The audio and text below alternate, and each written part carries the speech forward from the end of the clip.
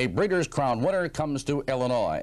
Masquerade, winner of the 1986 Breeders' Crown three-year-old Colt Pace, will begin his stud career in 1988 at Nettle Creek Standard Bred Farm, located at Morris, Illinois.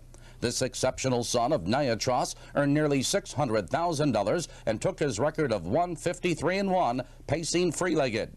His 1988 fee will be just $2,000. Be sure to look at the new Rich Illinois program when making your breeding decisions.